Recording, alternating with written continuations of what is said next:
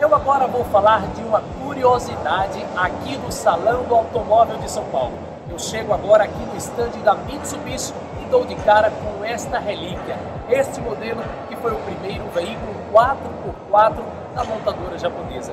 Trata-se do PX33. É realmente uma raridade. Este veículo foi fabricado no Japão em 1937.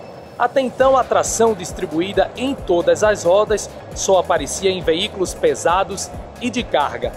Vamos à motorização deste veículo? É o motor diesel 6.7 de 70 cavalos de potência. Foi aí, mais uma vez eu reforço, o responsável em abrir caminho para os atuais carros de passeio 4x4. A título de curiosidade, esse carro aí transportava membros do governo do Japão em zonas de guerra e de difícil acesso.